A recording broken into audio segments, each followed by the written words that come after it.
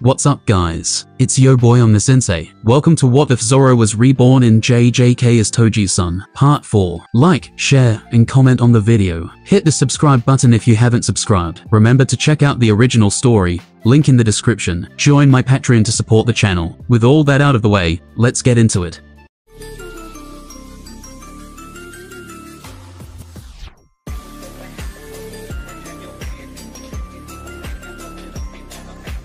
Hearing Yaga's words, Toji let out a dry laugh. He could vividly imagine how the old folks of the Zenin would react. I don't know how much that assistant supervisor knows or what he blabbered about. If the fact that Zoro is a non-sorcerer hasn't been disclosed and only the name Zenin Zoro was reported to the headquarters, they would be perplexed yet curious about the sudden appearance of a new Zenin name. Whether he's really a Zenin, whose child he is, if he was born with any inherited techniques, dreaming if he could be a sorcerer comparable to Goho Satoru. If he really was a sorcerer with inherited techniques, they'd probably be plotting to quietly take him in as their adopted son. And if it was reported that Zoro is a non-sorcerer, well would they call him a monster, like they did with Toji. As these thoughts filled his mind, a sickening rage twisted in his stomach. His hands tingled. He wanted to burst out and slaughter everyone who had hurt Zoro, those who carelessly reported him to the headquarters, and everyone who spoke thoughtlessly about Zoro. Toji clenched his fists so tightly his knuckles might bleed then slowly relax them. Killing was easy. On the day he went to end everything with the Zenin family, Toji could have killed them all. He refrained, recalling the promise he made to Chie that evening, not wanting to meet her drenched in blood. Now, with his mastery of Haki, it would be even easier. Could the old men of the Jujutsu headquarters, even with their sorcery, stand against him armored with Haki? It would be difficult. Later, such matters could wait. What's important now is Zoro's safe recovery. Dealing with the old men for what they've already done and what they're about to do. Finding out why Zoro encountered a special grade curse in the middle of a department store in broad daylight. Investigating why Sukuna's finger was inside Zoro's belt. All of that can be done later. After thoroughly interrogating those involved, scouring both the sorcerer and non-sorcerer worlds to find out who's behind this then killing those who need to be killed and punishing those who deserve it. After Zoro has safely recovered. Until then, he needed to be by Zoro's side, because the current Zoro doesn't have the strength to deal with a second threat. If, though, it's unlikely. If Zoro doesn't wake up, or if he leaves his side forever, like Chie did. Well, whatever I do then, it wouldn't matter. Whether Toji does good or evil, there would be no one left to acknowledge or reprimand him. If that happens, guilty or not. I might really kill them all, but that won't happen, because Zoro is strong, because he loves Toji, Knowing how much Toji would be hurt by the death of a family member, he would cling to the Reaper's neck if necessary to survive. That's what had to be believed. Toji broke the silence and spoke. As long as my son is alive, I won't cause trouble here. Meaning, don't provoke me needlessly, just go away. Whether Yaga understood this or not, he quietly disappeared with a backward step. Tsumiki, with big brown eyes brimming with tears, clutched Toji's arm and shook it. Mr. Zoro will be okay, right? My brother will be okay, right? Yeah, Toji hugged the sobbing Tsumiki and Megumi tightly. The sweat seeping into his palm felt cool. Zoro would be okay. He had to be. Otherwise, everything would become meaningless. And then, five days passed. Creak, creak. The sound of metal clashing was heard. Something seemed off, as if it was losing its balance. Creak, crack. Something broke. Even in his groggy state of consciousness, Zoro was acutely aware of that fact. Zoro slowly opened his eyes in the ward of the Metropolitan Curse Technical College. In front of him was Toji. He was so close that Zoro could feel his breath, leaning in with his green eyes darting around, scrutinizing Zoro's every movement. He looked both incredulous and ecstatic. As Zoro tried to sit up immediately, Toji's hands quickly moved behind Zoro's back helping him to sit up slowly. Zoro felt like he could have gotten up on his own, but Toji looked too serious. His physical condition was surprisingly good. There was no pain, and unlike in his past life, where he would usually be wrapped in suffocating bandages, there were none. Looking around, the place seemed like a hospital. Zoro noticed Megumi and Tsumiki, lying side by side on the bed opposite him, making soft snoring sounds as they slept. Those two, they're not hurt, just sleeping. That was a relief. They hadn't been injured the last time he saw them, and hearing Toji's voice now, he had thought they would be okay. And you, I'm not hurt either. That's good. Zoro was the only one among his family who had been injured, and now he was up and about. Toji said nothing. Zoro glanced around. Where are we? We're at the school. The school. Why are we here? There was no response. Instead, Toji lowered his head and rubbed it against the side of Zoro's leg. It was an odd gesture, like a beaten animal submitting to the leader of the pack, seeming to seek forgiveness or perhaps expressing regret. It looked anxious, scared, and in some ways, resigned. Zoro watched Toji's actions for a moment and then shook his head. Really? When Toji flinched, Zoro quickly pulled his head into his embrace and gently stroked his dark hair. It seemed he needed to calm him down first, before they could talk about what happened. Zoro hugged Toji's head tightly, and Toji trembled slightly, burrowing further into Zoro's embrace. There was no need to cling this much. With the hearing of a thousand demon queller, it was impossible not to hear Zoro's heartbeat. Yet, the way Toji pressed his ear against Zoro's chest to listen to his heartbeat resembled a young animal refusing to leave its injured mother's side. Were you that scared? Indeed, from Toji's perspective, it must have been the first time seeing Zoro this injured. While Zoro was accustomed to such situations, Toji certainly was not. What happened? I'm sorry. That's why I'm asking you to tell me what happened, so I can be angry or fix it. Because I couldn't come, you but you did come. Toji did come to Zoro. It's just that Zoro had dealt with the troublemaker before there was a need for him to step in. Again. You brought me to the school. I already told you that. But why? This was the only place where you could be treated. I see. Now I understand why you brought me to the place I didn't want to go. Anything else? Is that all? You don't trust me. I do trust you. It's just not me. Yourself. Toji's issue wasn't with trusting Zoro. He didn't trust himself. Not trusting himself, he relies on others within his range. That's why, even after making the right choice, he continues to feel anxious. Toji fears that Zoro will be angry with him, that Zoro will hate him for the decisions he makes. Apart from their mutual care, this was entirely different from his past life's comrades, who had their own firm opinions and stubbornness often leading to fights. You need to be shameless, you know. I'm sorry. Don't apologize. Pirates do not apologize for the choices they make based on their beliefs even if those choices lead to adverse outcomes. Especially now, when there hasn't been a bad outcome, Toji is too submissive. Why he can't trust himself that much is something Zoro couldn't fully understand. Zoro was someone who, no matter what anyone said or faced any defeats, never doubted that he would become the strongest one day. It was frustrating. Toji silently hugged Zoro tighter. Zoro awkwardly placed his hands around Toji's back. Zoro doesn't know how much this small, lukewarm warmth keeps Toji alive, and how much it terrifies him. I'm afraid that you might die because of me because of Toji's bloodstained past, because Zoro was born being pointed at by everyone from the moment of birth, afraid that his son might be broken before he even really gets to live. Toji spoke as if vomiting out his deepest fear. Zoro looked at Toji quietly and then said coldly, that's a weight you, as a parent, have to bear. If Zoro had died, Toji couldn't deny his responsibility. Protecting his child is a parent's duty. Ash, not that everything is Toji's fault. Let me make it clear. It was my choice to confront that guy head on. Zoro could have stalled for time until Toji arrived, but he chose to face the enemy directly. It wasn't something Toji asked, instructed, or ordered Zoro to do. It was entirely Zoro's will. Not everything bad that happens to me is your fault. When a strong curse appeared, it was Zoro who, despite the difficulty,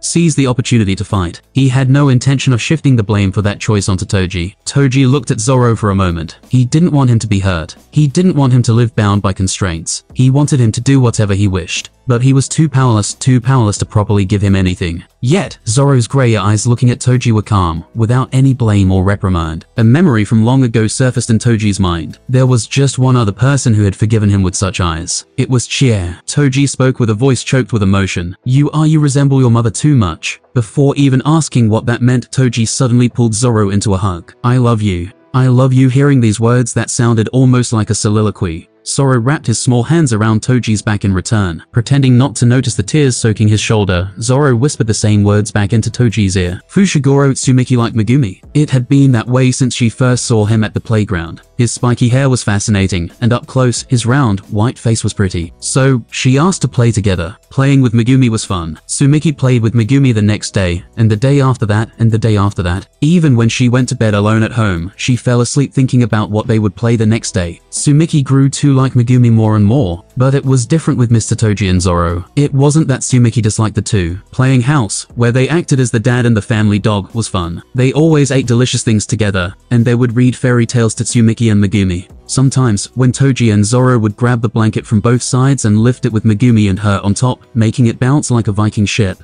it was incredibly fun. Rolling around in the blanket with Megumi and laughing was absolutely wonderful. Still, it wasn't the same as with Megumi. With the two of them even though they were right there, it felt as if they were immensely far apart. They had their own stories, their own games, and saw something only they could see. Sometimes, Megumi looked in the same direction as them, but when Tsumiki looked there, there was nothing. It was the same with Tsumiki's mom and dad. Even though they were right there, they always had their own stories and only saw each other. When she asked, they told her to go to her room or to play outside at the playground. Tsumiki felt immensely distanced from her mom and dad, but she silently did as they said. She believed that someday, just as much as they had grown distant, they would come that much closer to her. Without looking back, when dad left and didn't return after three nights, and then three more, and until mom came home with a man Tsumiki had never seen before. That's when she realized, people who grow distant by that much can just disappear and never come back. So, Tsumiki kept her distance from them. She thought that maybe one day, one of the two would just disappear like her dad did. She just hoped Megumi wouldn't disappear along with them. And then, they disappeared. In a way Tsumiki could never have imagined. When Mr. Toji left and the world turned dark, Tsumiki was terrified. She couldn't see anything, and all she could do was hold Megumi tightly. Each time she heard thumping and crashing sounds not far away, tears trickled down her face.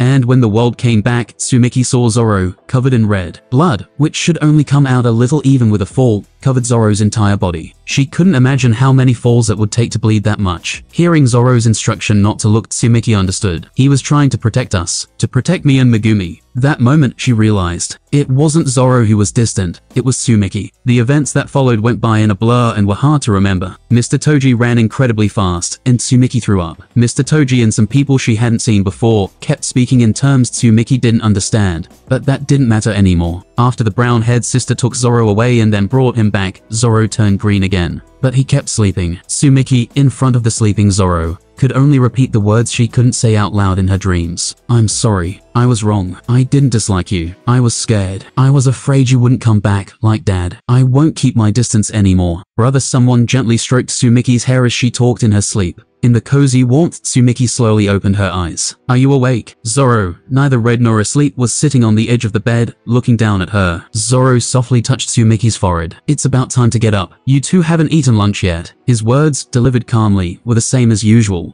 In a situation where Tsumiki was unsure if it was a dream or reality, she hesitantly called out to Zoro, Brother, yeah, are you okay? Yeah, that's good. Really good. Hiru, Hiro, Yetsumiki. Wayala. Tsumiki burst into tears and threw herself into Zoro's arms, who awkwardly embraced her. She cried her heart out, her face a mess of tears and snot. I'm sorry. Hiru, my fault. It was me, me. So far away. Huh. Hey, uh, what exactly did you do wrong? No, it's okay. Just stop crying for now. You'll get dehydrated if you cry like that. Woel, um, uh, Woel? Calm down, both of you. Megumi and Tsumiki only stopped crying after being comforted by Toji and Zoro. Previously, when the family played house, Tsumiki played the role of mother, Zoro played the role of father, Megumi played the role of son, and Toji played the role of the family's little puppy. Stop crying. Blow your nose too. Humph. Yuru humph. That's right. Good. Now, Megumi, you too humph. Listening to the faint voices of the children from beyond the hospital room, Ieiri Shoko put a cigarette to her lips and lit it with a lighter. Shoko had been in the hospital room for a while, since Toji had pressed the call bell, as soon as Zoro woke up. But after seeing the chaos of the biggest child trying to calm down two crying children, she neatly closed the door and left again. The patient looked perfectly fine at a glance. Zenin Zoro?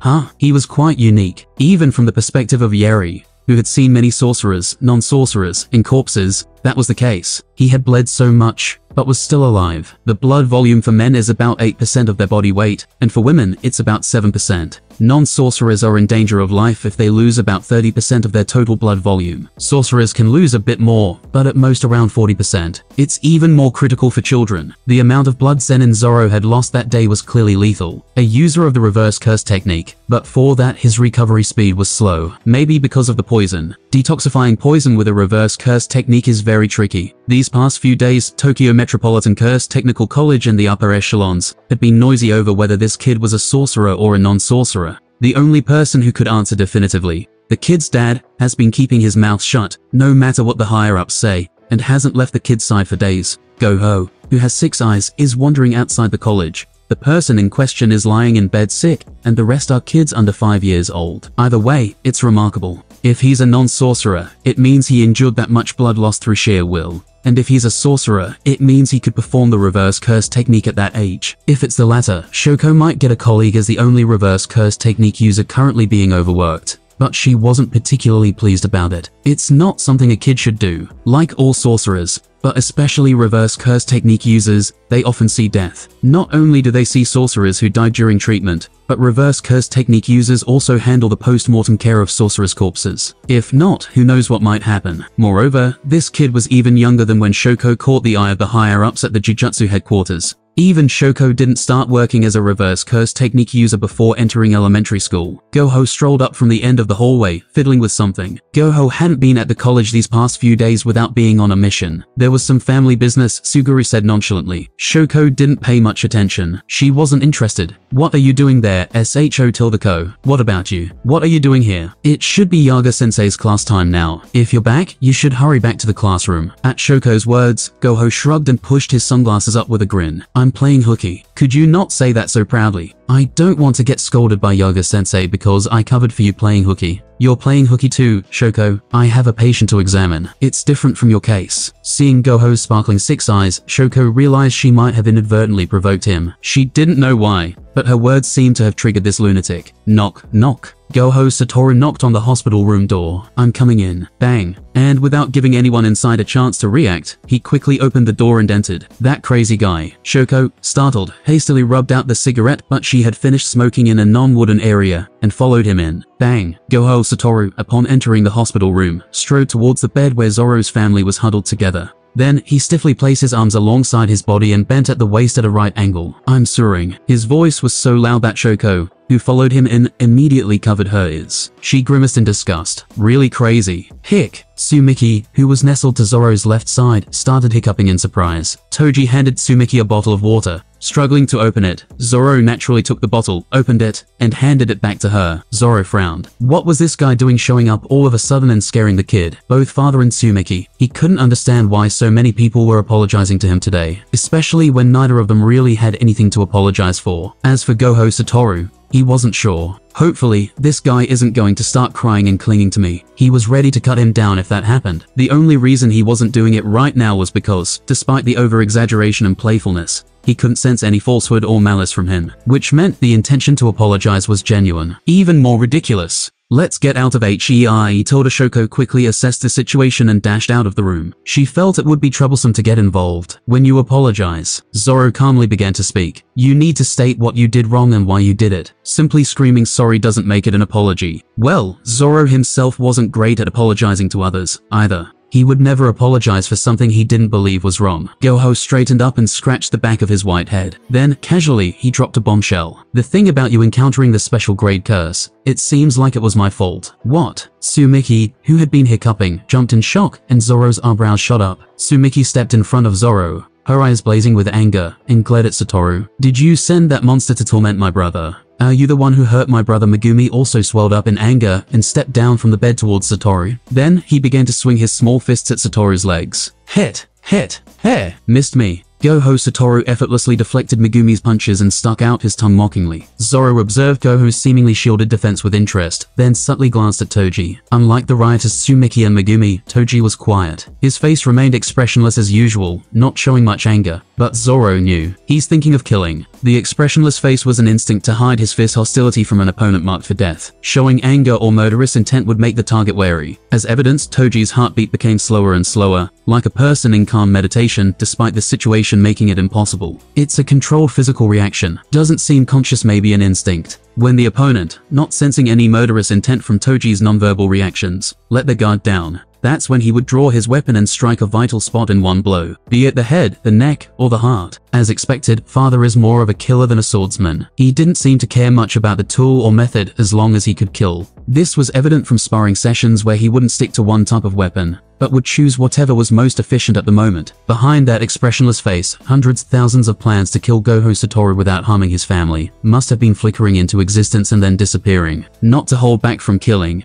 but to select the plan with the highest chance of success. He usually doesn't show such a demeanor in front of us, preferring to be discreet, but it seemed like he wasn't in the state of mind to care about that now. The only thought dominating Toji's mind was murder is visible to Zoro. Zoro extended his hand towards Toji. Normally, Toji would have reacted immediately, but this time he was a bit slow to look at Zoro. It didn't matter. He looked this way, after all. Toji, the sword. Toji made an indescribable expression for a moment, then threw the sheathed Wado Ichimonji, which had been leaning against the hospital wall, to Zoro. Zoro stood up from the bed and caught it. Still blocking Megumi's kicks with his Mugen, Satoru looked at the scene with an interested expression. Going to fight. Haven't decided yet. Swinging a sword overwhelmed by emotions could lead to cutting what shouldn't be cut. Nor was he so magnanimous as to let pass what needed cutting. Unlike a few days ago, Toji was now by Zoro's side. If one of them protected Megumi and Tsumiki and the other fought, there would definitely be a chance of winning against Goho Satoru. For now, Zoro remained neutral. Whether to draw the sword or not would depend on what Goho Satoru said next. One thing at a time. Start from the beginning. What you just said, what does it mean? Goho Satoru looked at Zoro for a moment, then pushed away the pouting Megumi's cheek, pulled a chair closer, and sat down. Remember when I visited your house? Yes. At that time,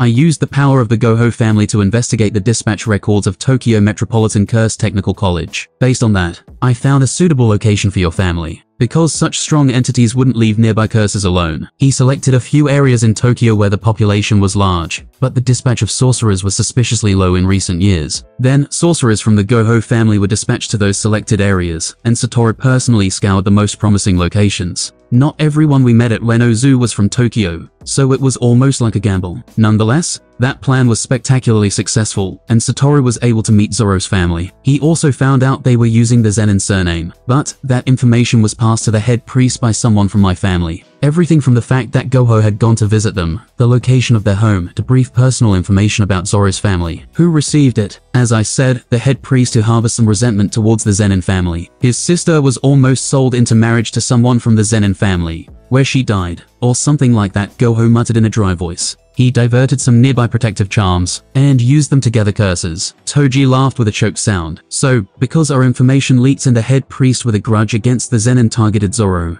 this whole thing was orchestrated. That's how it seems. Do you believe that? Goho Satoru scoffed. Of course not. It's not a game a mere grade 2 head priest can play. However, further investigation was difficult. Since a person from the Goho family was involved, there was suspicion that the Goho family had orchestrated and tried to cover up the incident. Indeed, the Zenin family was hopping mad, accusing the Goho family of trying to assassinate their young and talented kin. Before, they didn't even know of their existence. But as soon as they learned that a special grade curse was defeated, they started ranting about their talented kin, which was quite hypocritical. Zoro frowned. Zenin, Zenin. That name crops up in everything they do. It was inevitable since Zoro, Toji, and Megumi bore that surname. Goho, Zenin, Kamo, and many other old folks from the upper echelons are clamoring to see you. The official reason is to investigate the unregistered special grade curse that appeared that day but the real intent is likely to probe whether you're a sorcerer and what your techniques are. Of course, Zoro wasn't a sorcerer. Despite hopes raised by the news of defeating a special grade curse, the amount of cursed energy Zoro exhibited was as minuscule as any non-sorcerer's. It does seem like he leaks less cursed energy for a non-sorcerer. Despite Goho's words being infuriating, Zoro's cursed energy didn't leak out at all. Either he controls his emotions well, or he doesn't feel them strongly to begin with. Both were common among sorcerers. Megumi, who had been vigorously trying to hit Satoru covered by Mugen, gasped for breath and scurried back to his brother's side, wearing a dejected expression. I couldn't hit him, it's okay. Zoro stroked Megumi's hair and hid him behind Toji. Megumi quietly retreated behind Toji's legs, but still sneakily glanced at Zoro. Goho tilted his head, observing. He's the restraining type. It was somewhat disappointing. Zoro won't meet them. Toji stepped forward in front of Zoro, shielding him behind his back, and declared in a cold voice, I have no intention of letting him meet them. Never. The aversion, misunderstanding, and malice he had suffered throughout his childhood, he had no intention of exposing Zoro to that. Goho tilted his head at Toji's dry statement. But you'll have to explain at some point, won't you? If you don't want to be treated like that head priest, either you or the kid, one of you has to go. Why don't you go and explain then? What are you doing with those good eyes of yours? That's bothersome normally, he would have replied with a flippant, huh, why should I? I don't want to. But the situation was different now. A member of the Goho family had caused trouble for them first, and technically, the cause of the incident traced back to Satoru recklessly seeking them out. Satoru ruffled his hair, recalling a conversation he once had with Suguru. If I've done something wrong, of course, I should apologize, Satoru, and then take actions to make amends. HMPH, like that makes the mistake disappear. That's not it. But there's a big difference between someone who apologizes and reflects on their wrongdoing and someone who doesn't. Recognizing one's fault is the first step to not repeating that mistake. You once threw a repenting head priest to the side as well. Caring for the weak is tiresome, but it's not like you can completely ignore them either. These folks aren't exactly the weak either. I'll help out this one time. Goho Satoru decided to make an exception this time, though the thought of facing those rotten oranges made his face scrunch up already. but I can't stop anything regarding Tenjin. He's too influential. Zoro looked at Toji. It seems like there are a lot of things I don't know. You don't need to worry about it. I'll take care of everything. Zoro had done his part by defending Tsumiki and Megumi against the special grade curse and getting up safely. Once Goho tells them Zoro is a non-sorcerer and Toji makes a scene, the things those people spew will change. Whether it's the upper echelons or the Zenin. Once those folks change their tune, then it'll be okay to tell Zoro. Now it's Toji's turn to step up. Don't do anything rash. And you'll want to talk. Toji pressed down on Zoro's head. Please be more careful with yourself, will you? Zoro was about to retort, but swallowed his words upon hearing Toji's voice shaking with unease. Can you leave us and go by yourself? Toji hesitated. He couldn't take the kids with him. He couldn't show his children what he did as a sorcerer killer. But leaving them behind wasn't an option either, especially right after all the chaos that ensued the last time he was briefly away from them. Even within the Tokyo Metropolitan Curse Technical College's barriers, where there may not be curses but plenty of sorcerers, and it's hard to say the college is an ally. Toji glanced at Goho Satoru. Still, he wanted to kill him, but it was also true that, in the current situation, he was the one from whom the most could be extracted. Toji's target wasn't just to nip the tail of this incident, he had to find the real mastermind behind it. It's definitely not that simple incident Goho mentioned. An attack due to a grudge against the Zenin clan. Impossible. There must be someone bigger behind this. Though Toji was a non-sorcerer with zero cursed energy, he was not ignorant about curses. The charm he found in Zoro's dance was clearly one of the special grade cursed object Sukuna's fingers. There's no way a mere head priest could have orchestrated its theft alone. To find and deal with that real mastermind, Toji had to cooperate with the young master of the Goho clan. Annoyingly, let's make a binding vow. Huh to protect our kids until I return to the Metropolitan Curse Technical College. In return, I'll place a binding vow not to hold the Goho clan responsible for this matter. Given the Goho clan's admiration for their young master, any traitor who falls out of his favor won't die a peaceful death. With the sorcerer community's eyes on this matter, handling Goho Satoru now could make Toji a target in the sorcerer world. Then, it's better to leave the handling of the Goho clan and the upper echelons to the young master. That way, Toji could go after the real mastermind. Goho Satoru lifted his sunglasses to reveal his six eyes.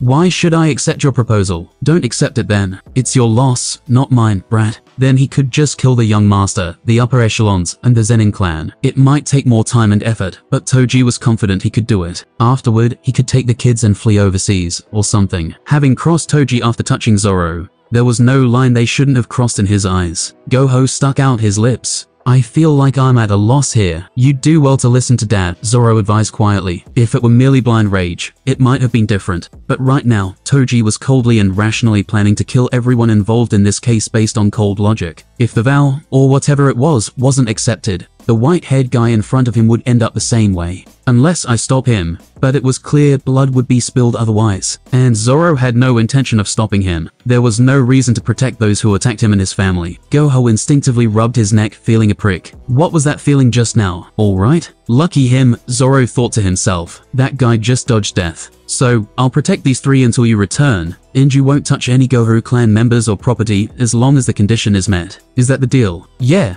be ready if you break it. As if I'm stupid enough to break a vow made with someone else. Goho grumbled. Breaking a vow made on one's own ability just ends with the loss of the boosted effect from the vow. But breaking a vow made with someone else doesn't end so comfortably. Because you never know what you might lose, a vow made with someone else must absolutely be kept. As soon as the vow was made, Toji turned towards Zoro. Don't go anywhere from here. Stay with the kids. Answer the phone if I call. Where are you going, Papa? There are some things I need to stomp on. What does stomp on mean, mister? At Tsumiki's innocent question, Zoro answered instead. Beat them up? Ah, beat them up. Yeah, it wasn't really something that could be summed up with beat them up. Zoro looked intently at Toji. Don't get hurt. I won't. Don't get too carried away. It's those guys who need to. I'm not worried about them. I'm worried about dad. Rampaging swallowed by murderous intent might lead to regret once that murderous intent fades. Zoro glared. Don't run away again. If he dared say something like I don't belong with you or the young master will be fine without me and didn't return, he wouldn't let it slide. Toji grasped Zoro's hand tightly. I will come back. It was different now. He had people to kill and wrongs to right, so leaving was just temporary. His place was here. Besides, if he pulled that kind of stunt again, he was pretty sure either his arm or leg would end up broken by Zoro's hand upon his return. Toji hugged Zoro, Tsumiki, and Megumi each in turn, then left the Metropolitan Curse Technical College like the wind. This was the beginning of what would later be called the Sorcerer Killer's Great Purge of the Sorcerer Community. Covered in blood, the sorcerer Tamami Yoshihiro frantically fled down an alleyway. Damn it, damn it all. Tamami muttered curses under his breath. How had it come to this? How had he, the leader of the invincible group of sorcerers known as the Undefeated, ended up like this? The sorcerer killer he gritted his teeth in anger. A few days ago, an anonymous post appeared on the dark web, a place frequented by sorcerers. Ash seeking information on the special grade spirit incident at Tokyo Eonlat Eonlat department store on October 6, 2005. Reward 3 million yen. 3 million yen for just one piece of information, not even asking someone to kill. It was an offer that any fledgling sorcerer would be tempted by. However, the reason behind seeking information about that incident and who was behind it remained unclear, making it a dubious request. Tamami Yoshihiro and his group, the Undefeated, claimed no knowledge of the incident and thus ignored it. I should have bound them with a vow not to lie. Tamami Yoshihiro only realized his brother, Tamami Uehiro, had lied to him after the Sorcerer Killer slaughtered dozens of sorcerers and destroyed two sorcerer communities. The Sorcerer Killer,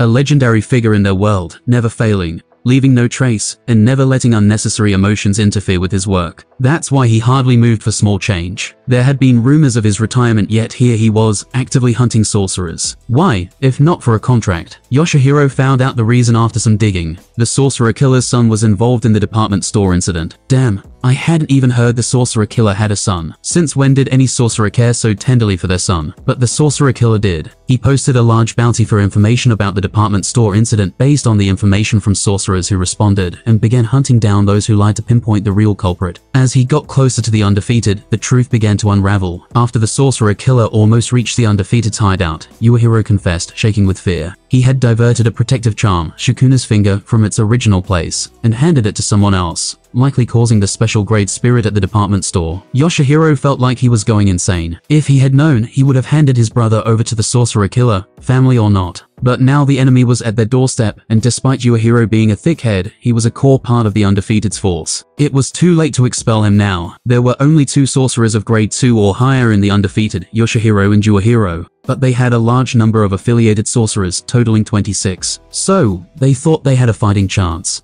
How terribly they had miscalculated. With the first swing of his chain, to which something white was attached at incredible speeds, nearly half of the undefeated sorcerers were decapitated. By the second, only Uehiro and Yoshihiro were left standing. Between the black chains flying towards him, Yoshihiro caught the sorcerer killer's eye. The sorcerer killer, whose son was rumored to be involved in the incident and out of his mind, didn't appear angry or excited. Instead, he seemed emotionless, almost bored. This made it all the more chilling. When Uehiro screamed and charged at the sorcerer killer, Yoshihiro knew this was his only chance to escape. So, he ran. After all, it was Uehiro who created this mess. If his death allows me to escape, then he's paid his dues. No, that still wasn't enough to cover his sins. He had single-handedly destroyed what he had built and maintained with the undefeated. Clang. Something flew past him, and Yoshihiro hit the ground hard. You have better instincts than your brother. The dry voice made Yoshihiro's skin crawl. I thought you might have reinforcements but it was just overconfidence that you could escape. I see no need to watch further. Realizing escape was impossible, Yoshihiro immediately prostrated himself on the ground. Please, spare me. He babbled, not fully aware of what he was saying. I know who's behind the incident.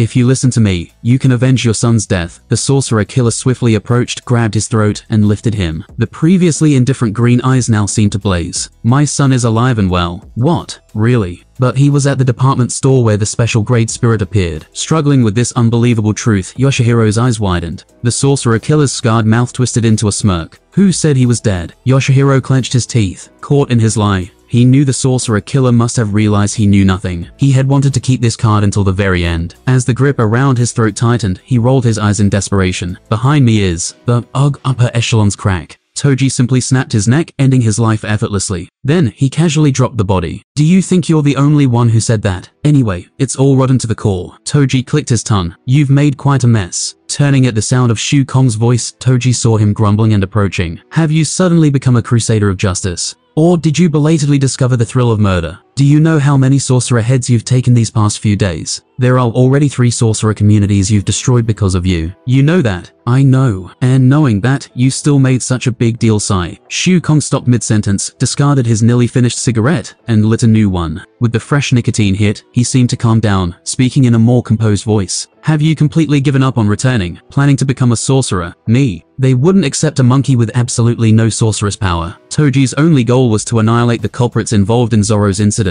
whether they were non-sorcerers, sorcerers, or sorcerer killers. It just so happened that most of the suspects were sorcerer killers. The few non-sorcerers involved had already been handed over to the police. I'm not interested in other sorcerer killers. He didn't have a noble intention to eradicate all sorcerer killers on this occasion. The reason he ended up dealing with so many sorcerer killers was that the suspects often belonged to sorcerer killer groups. If they had handed over the problematic members easily, it wouldn't have come to this. They chose to fight together instead of surrendering their problematic members, so he simply sent them all to the afterlife. Yet, despite causing an unprecedented situation in the sorcerer world by destroying three sorcerer killer groups, he still hadn't caught even a hint of the mastermind behind everything. It's as if they don't really exist. No one had seen him directly. Those who acted had only been requested or asked by someone else. They were all tells, the head had vanished like smoke. In that case, he needed to send a warning even if it was just to the tails. If there's anyone with a brain, they would have understood by now. Whether they understood or not, it was a lesson about what happens to those who dare to meddle in affairs involving his son. Shu Kong, witnessing the faint madness swelling in Toji's green eyes, pressed a hand to his forehead. This guy's lost it, totally lost it. This incident won't be ignored by the higher-ups either. It's only the sorcerer killers I've killed. The non-sorcerers have been handed over to the police nicely. The higher-ups had a certain level of awareness of the activities of the sorcerer killers but had tolerated them until now. The reason was simple. There's a lack of manpower. After the birth of Goho Satoru, the explosive increase in curses had driven the already few sorcerers into extreme overwork, naturally leading to an increase in deaths and desertions. As a result, the higher-ups were too busy dealing with curses, and lacked the strength to track down and punish the well-hidden sorcerer killers. Since sorcerer killers also kill curses, they were seen as a necessary evil, and were overlooked. But they are humans, not curses. If the higher-ups do step in, it would probably be because the tribute money from the sorcerer killers stopped, not for that reason. Some among the higher-ups accepted tributes in the form of cursed objects, tools, or money in exchange for turning a blind eye to their existence. The three sorcerer killer communities that Toji had dismantled had all been paying tributes to the higher-ups. There was no direct evidence, but circumstantial evidence was plenty. This incident is a monumental one, creating a special grade curse in a department store in broad daylight in Tokyo. It's way beyond what the higher-ups can overlook. Even if they wanted to protect them, they couldn't. After all, they were sorcerer killers, and the incident was too big. By now, the old fogies must be keeping their mouths shut and suffering from stomach aches. Their under-the-table income must have stopped. Oh right, what about that woman? Shu Kong pointed behind him. Toji noticed a woman trembling behind Shu Kong. Although she had deserted due to the chronic overwork in the sorcery world, she hadn't committed any serious wrongdoing, and was the only informer among the whistleblowers who provided useful information to Toji. After a brief consideration, Toji waved dismissively at the woman. She bowed politely and quickly left the scene. She had already received her reward of 3 million yen and even more, planning to leave Tokyo forever. She plans to stay away from the sorcery world and live in the countryside raising cats or something. He had a hunch that if he ever encountered her again while she was still a sorcerer killer, she wouldn't die a peaceful death. Watching the woman scurry away, Toji pulled out his mobile phone. It had been two hours since his last call. It was about time to call Zoro. Toji pressed the buttons firmly. After a brief ring, Zoro's voice came through the phone. Dad, what are you doing? I was sleeping. Yawning sounds from Zoro could be heard. Zoro tended to have short nights but long naps during the day. He spent most of his time either training, playing with the kids, or sleeping. Toji had tried to change this habit, claiming it was bad for health, but failed. Where are Megumi and Tsumiki? They're playing. Right now, they're playing tag wait, Megumi. Don't run on the stairs. Who told you to run there? You'll get in trouble. Did they fall? No, that didn't happen. As long as I'm here, it won't happen. Listen, Megumi. You absolutely, absolutely must not run on the stairs. Tsumiki, you too. Got it. The sternness in Zoro's voice was followed by Megumi's whimpering apologies. You're strict. Things that aren't allowed need to be said as such. Zoro's voice trembled as he added that stairs are dangerous. Anything happen? Nothing. Is Goho guy around? No. Toji's eyebrows raised. He wondered if the promise of protection had been broken, but that didn't seem to be the case. Where did he go? He said he's going to the higher-ups. Instead, that person with the bangs is here, so he's with that cursed sorcerer. It seems Goho went to report to the higher-ups that Zoro is a non-sorcerer. It's good timing. The old folks' faces should be seen at least once. Among them, there might be someone involved in this case, probably panicking right now. I'll be there soon. Bring back some ginger tea when you come. Got it. Toji ended the call. It was time to face a long-standing adversary. At that time, Goho Satoru was feeling like he was shouting at a wall. Ah, how many times do I have to say it? He's a non-sorcerer, a non-sorcerer. Despite repeatedly explaining since his arrival, those damned rotten old folks, who seemed to have decided not to use their ears anymore, refused to listen to him. An elder from the higher-ups, hidden behind a long draped cloth, retorted sharply, How can a five-year-old non-sorcerer exorcise a special grade curse? If that were possible, there would be no need for sorcerers at all. He must be a sorcerer, or he has some special curse object or tool. As the others echoed in agreement, Satoru seriously considered his options. Should I hit them? Would they die if he did? Maybe getting rid of these rotten old folks quickly is actually for the betterment of the sorcerer community. Alright, Satoru will step up for the sake of the sorcerer community. Ah, would Yaga-sensei scold me? No, he'd probably give me a thumbs up if he saw this. Shoko too. Of course, Suguru as well. Maybe not. Satoru decided to hold back just one more time and ruffled his hair. Hey, are you all senile? Do you not know what my eyes can do? Satoru lowered his sunglasses. The higher-ups shut their mouths upon seeing the brilliantly shining six eyes. The six eyes that the Goho clan had finally been blessed with after 400 years of waiting. There was no way those eyes could miss anything sorcerous.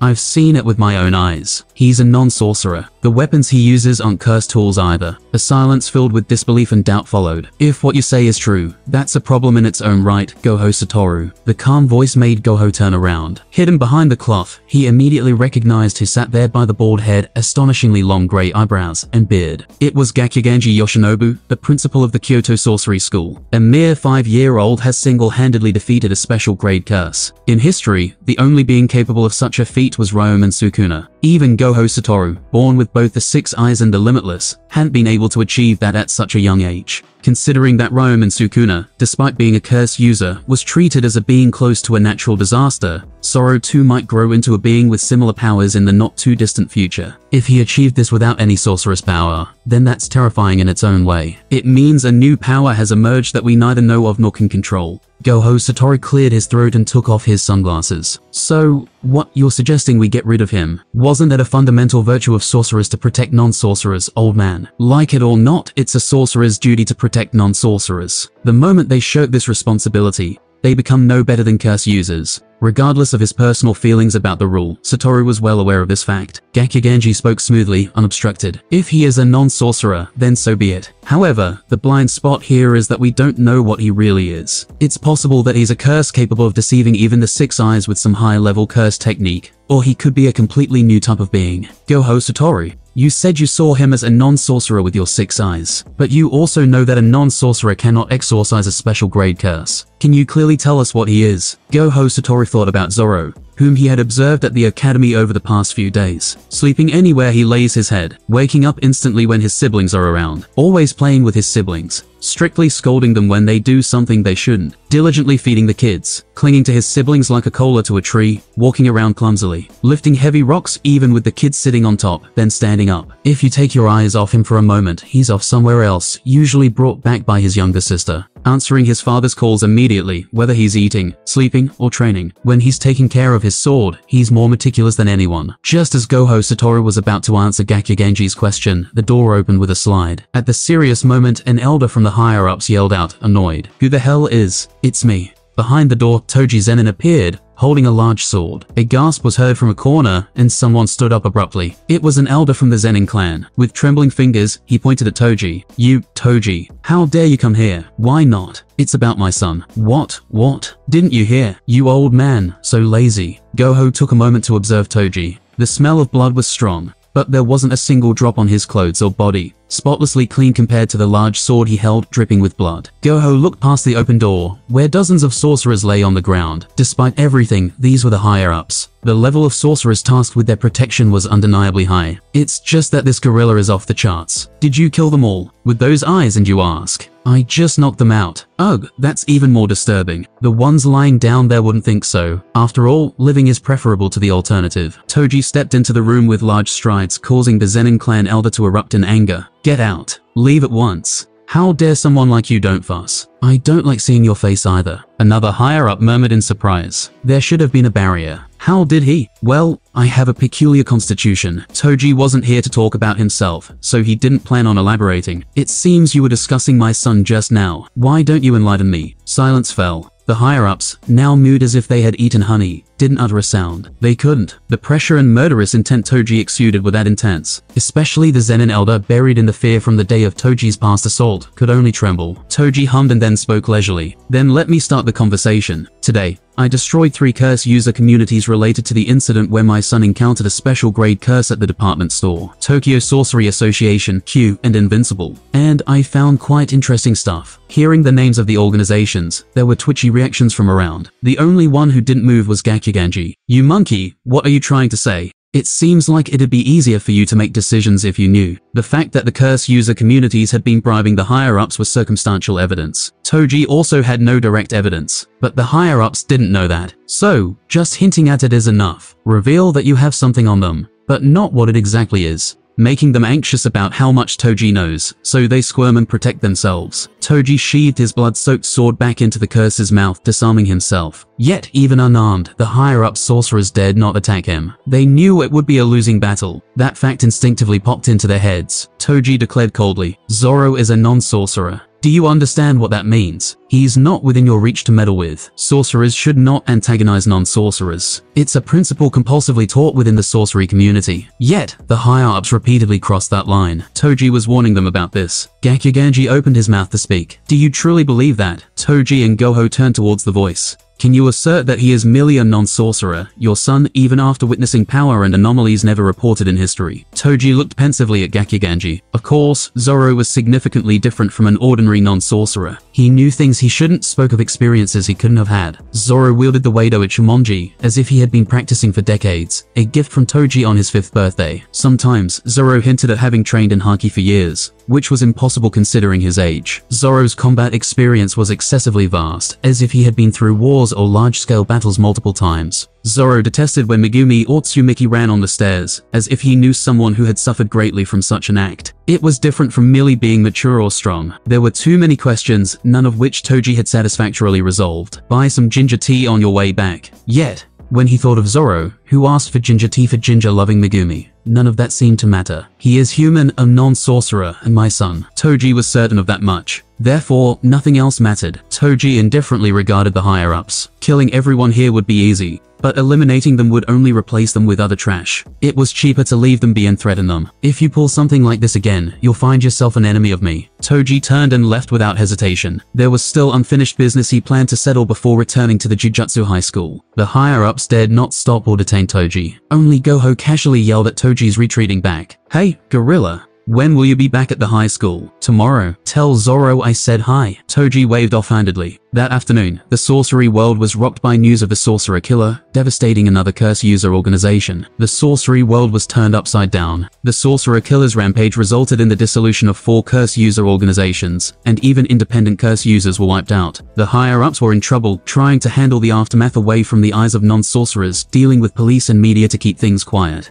However, the Tokyo Jujutsu High, at the very center of this incident, was as peaceful as the eye of a storm. Zoro was sitting with Megumi and Tsumiki asleep beside him under a falling maple tree at the school, avoiding the sunlight. The breeze was cool. Zoro liked autumn. Yamarimo! A vein popped on Zoro's forehead. From a distance, Goho Satoru approached him. Zoro gritted his teeth. Don't call me that. What's wrong with calling a Marimo, Marimo? Hey, Goho Satoru chuckled and sat down beside the sleeping Megumi. Your dad really made a spectacle, didn't he? At least in Tokyo, the curse users have dried up, including the four curse user organizations and independent curse users. Nearly 100 were killed, right? The Sorcerer Killer, known only by name in the shadows of the sorcery world, became a celebrity known by all within the sorcery world due to this incident. Having killed so many curse users, the nickname Sorcerer Killer had half shifted to Curse User Killer as a bonus. Even some of the higher-up sorcerers declared sudden retirements and began seclusion. The official reason was old age, but Goho Satoru wasn't naive enough to take that at face value. It must be related to what the gorilla mentioned yesterday, despite the constant talk of rotten oranges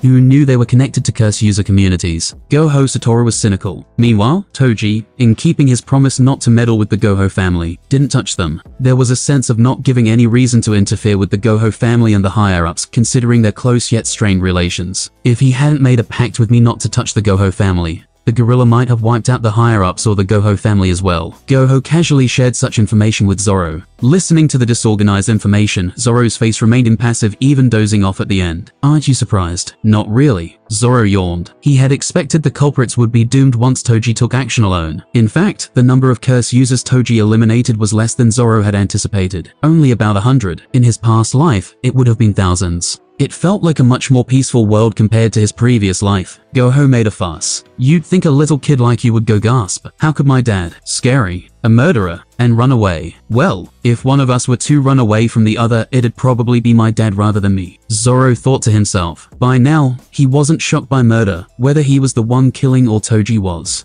It wasn't as if the world was turned upside down, it was just retribution against those who crossed Zoro. Not getting much of a reaction from Zoro, Goho crossed his arms behind his head and sprawled out his legs as he sat down. You're no fun. The people in the sorcery world are all scared, calling your dad the crazy curse user killer. Doesn't that interest you? It doesn't matter to me what people call me or my dad, whether a good person or a bad one. He had never been swayed by such labels, not in his past life nor in this one. Being pointed at or treated as a villain was something he had always experienced. Toji was Zoro's family, and as such, whatever he was called wasn't Zoro's concern. Goho tilted his head in confusion. Don't like being called a good person. It's not that. It's just that being called a good person makes my skin crawl. I'm not a hero. Not that he hated heroes. But Zoro himself didn't want to be one. Heroes are those who share their liquor with others. Why give away precious liquor? It's for him to drink. Thus, Zoro had no intention of demanding others to be heroes or good people. He wasn't one to begin with. Goho looked at Zoro for a moment before shrugging. Well,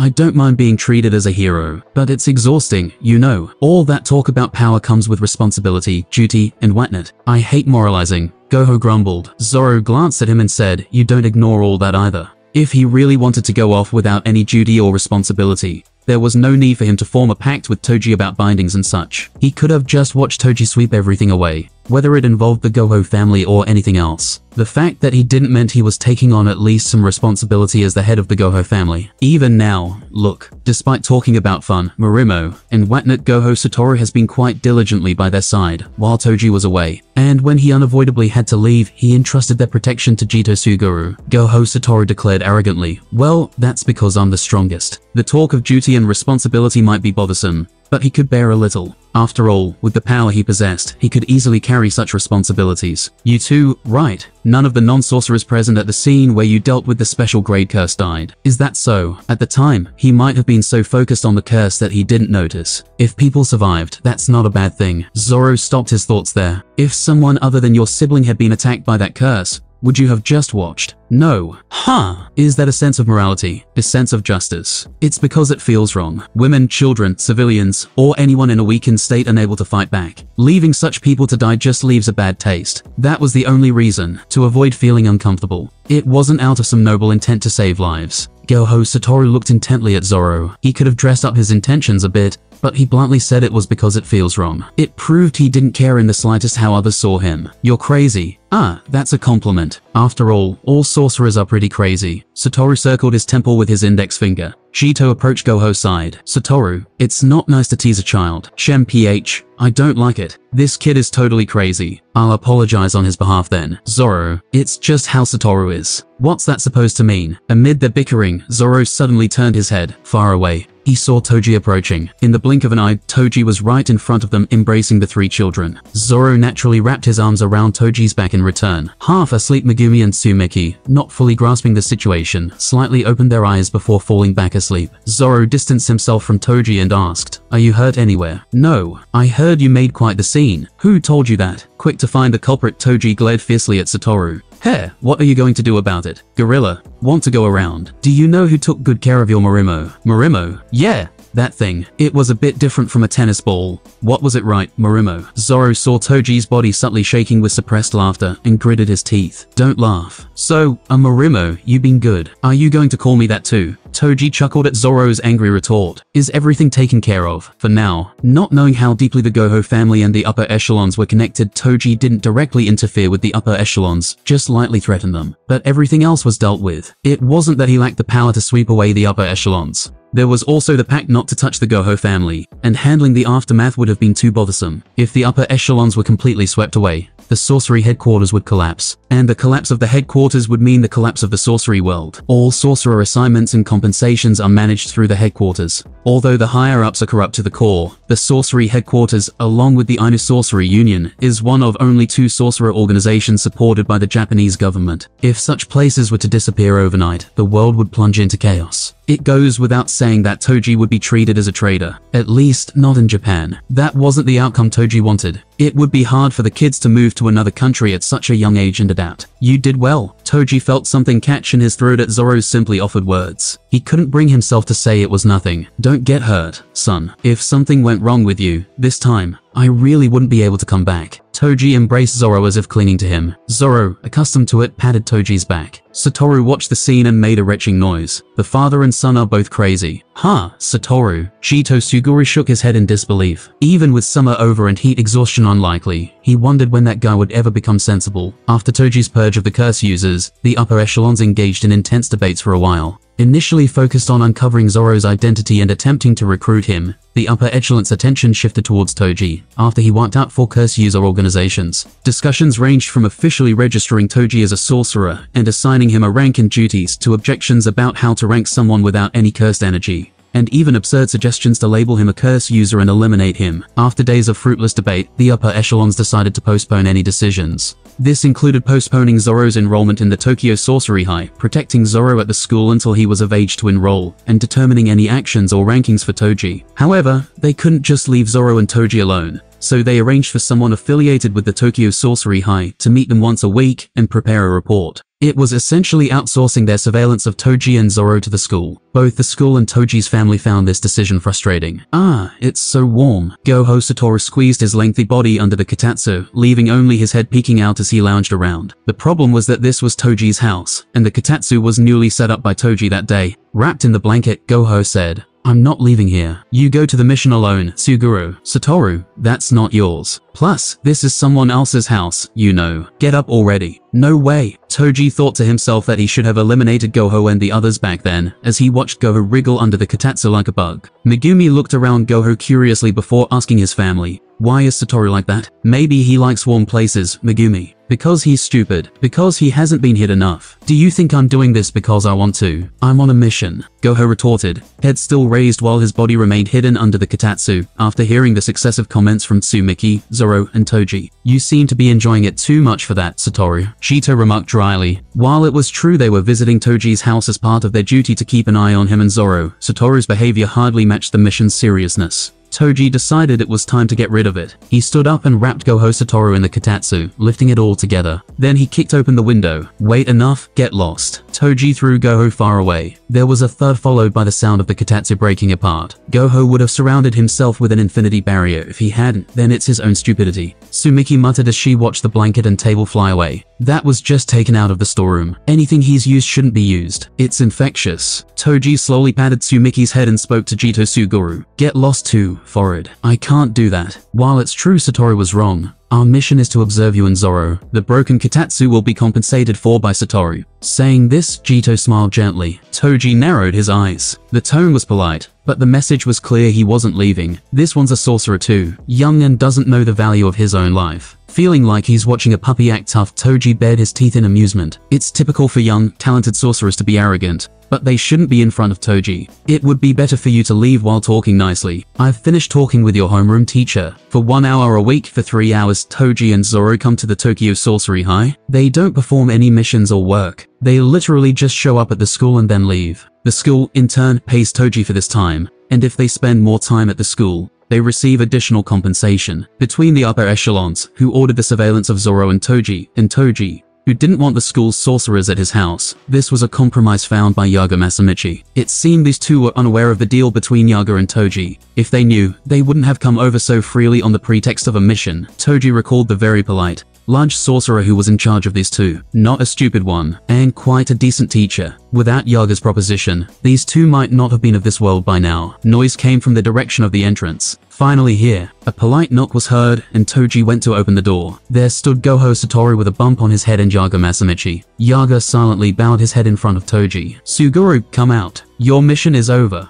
A, yes. Satoru, you better apologize now. No bang. Ah, After adding another bump on top of Goho's existing one, Yaga grabbed Satoru's head and made him bow simultaneously, bowing respectfully himself. The students have caused a significant inconvenience. It's my fault for not conveying the mission properly. I am truly ashamed. It's also a hassle on our end to see blood in front of the kids. If they'd just take them away quickly, that'd be welcome. Toji waved his hand dismissively. This matter will incur an additional charge. Understood. Then Yaga gave another relieved bow and closed the door behind him. The whines of Goho Satoru could be heard from behind the closed door. But that was none of Toji's concern. Zoro, seeing Toji return with a look of relief, commented, You restrained yourself well. I refuse free labor, no, that's not it. Toji had almost carelessly mentioned refusing to work for free but stopped himself realizing it wasn't something to say in front of his son, despite Zoro being aware of Toji's killer activities. You seem to have held back quite a bit for you. Any reason? If sorcerers decrease too much, it'd be troublesome. While Zoro and Toji might be exceptions, Megumi is almost certain to work in the sorcery field. Already, by wiping out the curse users, the manpower to handle curses has drastically decreased. If the strongest two were also eliminated, the gap in sorcery manpower would become enormous. Those guys need to stay alive to beat down curses. Otherwise, all the increased and strengthened curses since Goho Satoru's birth might all fall to Megumi to handle, or Zoro and Toji might have to take care of it themselves. Otherwise, curses that had been quiet during Goho Satoru's life might start rampaging, and before Megumi's generation even begins to act, the sorcery world could collapse, leaving non-sorcerers to suffer at the hands of curses. None of these outcomes were what Toji wanted. It's still a long way off, and he had no intention of letting it happen. Zoro's face became grim. He understood the meaning, but those guys leading the sorcery world, especially that white-haired brat, doesn't seem very proper either. Unable to argue, Toji remained silent for a moment before speaking. We'll have to fix their attitudes. How? How do you plan to fix the attitude of someone who barges into someone's home and snuggles into their kotatsu like it's their own? Sensing Zoro's skepticism, Toji smiled. Don't worry, I have the perfect way. If they get beaten up, they'll listen. While they don't seem to understand human language, the primitive language of fists they will comprehend. Getting hit will also toughen them up, preventing them from recklessly relying on their techniques and getting killed. It might be better for them to stay alive even if they get beaten up.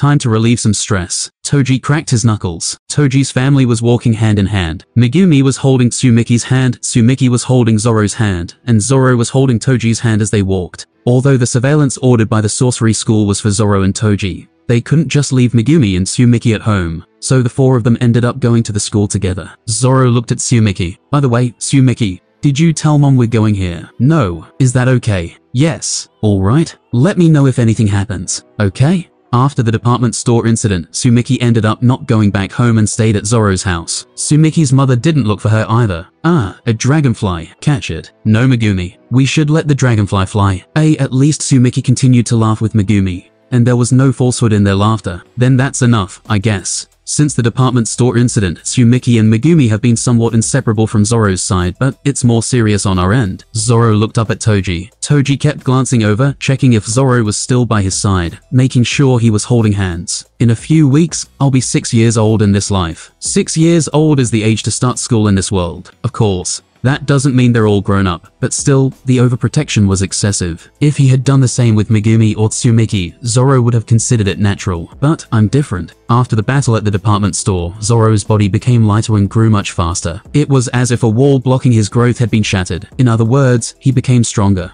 Perhaps it's because he's my father. Is it natural for a parent to protect their child? I don't know. I would have to have been someone's parent or child to know. Just because I didn't have parents in my previous life doesn't mean there were no adults who protected young Zoro. Kishiro passed on his teachings to Zoro, and the people of Shimotsuki village gave quite a lot to Zoro, an orphan without parents, for nothing in return. A spare room, clothes that children had outgrown, a bowl of leftover rice. Thanks to that, Zoro never starved, shivered without clothes, or slept without a roof over his head. For an orphan in harsh times, Zoro thought he was pretty lucky. Yet, in Shimotsuki village, Zoro was more of a protector than a protected. After Kuina's death, at the age of 10, Zoro became the strongest person in Shimotsuki village and protected it from pirates and bandits. No one asked him to, it just seemed natural. So Toji's anxious gaze, worrying about where Zoro might go or if he might get hurt, still felt a bit awkward. It was the first time someone saw Zoro as a complete object of protection. Even Luffy, who naturally took protecting his crew for granted, never hesitated to entrust Zoro with battles. He always readily believed in Zoro and entrusted him with them, saying Zoro wouldn't lose to anyone. Battles with the leaders of opposing organizations were always Luffy's responsibility, but that was about fulfilling the captain's duties, not because Luffy doubted Zoro's strength. Toji didn't seem to think Zoro was weak either. It was just an unconditional protection. That felt a bit strange. Unable to overlook Toji's persistent gaze any longer, Zoro asked, What are you looking at? I'm worried you might get lost. We're holding hands. Still feels like you could get lost. Hey, it wasn't a joke Toji was seriously concerned. Everything else might be growing rapidly, but why not a sense of direction? Not at all, not even a little bit. Is he really a treasure with absolutely no sense of direction? That was a pretty serious issue. If he happened to encounter a spirit and experienced a distortion in space, ending up somewhere completely off, he might never be able to return. Suddenly feeling anxious, Toji cautioned him, after going somewhere, make sure not to go alone. If you end up on an unfamiliar road, call me right away. Got it. Maybe I should put a child locator necklace on you. Unable to kick Toji, Zoro just sighed. In the distance, Goho Satoru and Jito Suguru could be seen. Goho was lazily waving his hand to signal his location. Marimo, Gorilla. Oh boy, the veins on Zoro's already furrowed forehead bulged even more. Toji tapped Zoro's head gently. It was a signal to calm down for now. He would take revenge later. Jito bowed politely towards Toji. Hello. And hello to you too, Zoro. Ah. Goho Satoru looked over the four of them and commented. You brought everyone along. You can't leave the kids alone. Hum, so what? You plan to slack off here for three hours and then go home. It seemed Goho Satoru was somewhat indifferent, having heard about the arrangement from Yaga. Oh well, indifference might have been better, Toji pondered. I was planning to do just that, but I've changed my mind. Huh, shouldn't we do something worth the pay we receive? Call your teacher over. I have something to discuss. Toji's smiling face sent shivers down the spines of both Goho Satoru and Jito Suguru. Jito mumbled, What are you planning to do? You guys rely too much on jujutsu techniques. Especially you, young master. Given the overpowered nature of his limitless technique, that was to be expected. But Goho Satoru can't always be wrapped in his limitless technique. Even if he has limitless, if someone who can nullify or break through limitless shows up, he's as good as dead. For example, someone like Toji with heavenly restriction. For a typical Jujutsu sorcerer, even if they possess heavenly restriction, getting close to Goho Satoru wouldn't be easy. His six eyes, which miss nothing of Jujutsu nature, would detect a sorcerer or the nature of heavenly restriction from afar, and naturally be on guard. But if Toji were to confront Goho Satoru, it's a different story. With no cursed energy at all, even the Six Eyes would find it hard to detect him, and with his speed and extensive combat experience, the current Goho is no match. Perhaps when he grows up to reach the peak of his powers as a sorcerer, it might be a different story. If it weren't for me and Heavenly Restriction, maybe there would never be a natural enemy for that young master. Life isn't that easy. Especially after witnessing Zoro's birth and growth, Toji's thoughts have significantly changed. With a child who can defeat a special grade cursed spirit at the age of 5 despite being a non-sorcerer. It's possible that in the not too distant future, a cursed spirit or cursed user that can counter his limitless technique might appear. Or another individual like Toji, without cursed energy, might be born to kill Goho Satoru. It would be troublesome if Goho dies so easily in such a scenario. His continuous work is necessary for Zoro and Megumi's ease. The same goes for that sorcerer. Relying too much on the cursed spirits he controls will lead to his quick demise. This is a good opportunity to thoroughly correct his behavior. Toji stretched with a grin on his face. I'll teach you both hand-to-hand -hand combat. Oh, no using jujutsu techniques. Okay. This is a physical training session. Goho and Jito shivered, sensing an ominous chill. When do you think a person can fly? Is it when boarding an airplane? No. Is it when using a flight technique? No. Is it when attacked by a flying cursed spirit? No. Yaga Masamichi could now definitely answer that question. A person flies when thrown by a non-sorcerer with zero cursed energy. Boom. Yaga watched with blurred vision as the giant rat cursed spirit that Suguru had recently boasted about acquiring was pulverized into dust in mid-air with a single punch from Toji. Initially, Yaga was also startled, but as such sights repeated, he just watched.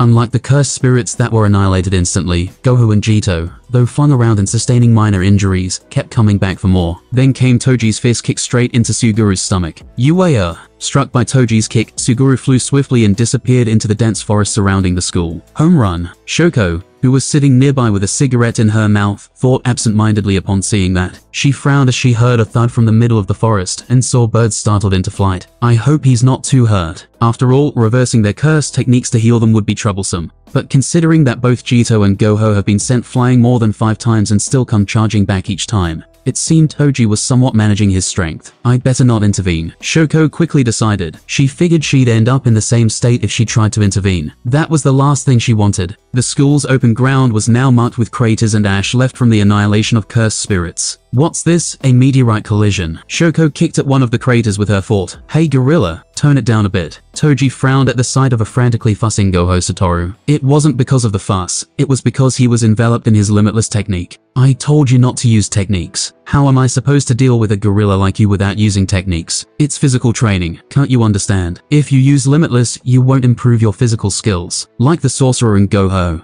they kept resorting to curse techniques whenever things got a bit tough. They would unconsciously summon cursed spirits to block attacks or envelop themselves in limitless. Using cursed techniques in response to danger is a sorcerer's instinct, but that won't prepare you for situations where cursed techniques are ineffective. It would negate the purpose of all the effort Toji had put into training. Goho flopped down on the spot. Ah, forget it. I'm not doing this. I'm not. Enough with the surveillance or whatever, just leave already. Should I prick him with heavenly restriction to get him back to his senses? Toji pondered. Yaga cautiously suggested. Both of you have duties tomorrow so it would be best to stop here. Toji clicked his tongue. He thought Goho was overreacting since he hadn't used any cursed energy or filled the three hours completely. But since there was a task tomorrow, he had to stop here. As Toji lowered his arms, Shoko quickly approached Goho and put on the sunglasses that Goho had left with her in advance. Shoko applied a reverse curse technique and only then did a relieved Goho grind his teeth. Crazy gorilla. Did you also raise your son by beating him up like this? We do spar together. Of course, Toji didn't actually hit Zoro, and it was more of Zoro teaching. In fact, it was Zoro who had done the hitting, especially when practicing observation haki. Zoro would swing a black stick enveloped in armament haki at Toji's head, while he had his eyes closed, telling him to focus on the presence. Naturally, Goho, unaware of the nature of Toji and Zoro's sparring sessions, was thoroughly disgusted. Being treated like a father, you're pretty lucky. Surprisingly lenient. Toji acknowledged that the treatment he received was relatively generous compared to what he had given. Toji glanced over at where Zoro was. Zoro was leaning against a tree, soaring softly. Next to him, Megumi and Tsumiki were huddled up, doing something to Zoro. It looks like they're sticking the stickers that Tsumiki likes on Zoro's cheeks. Toji recalled the pink stickers adorned with cubic zirconias and glitter.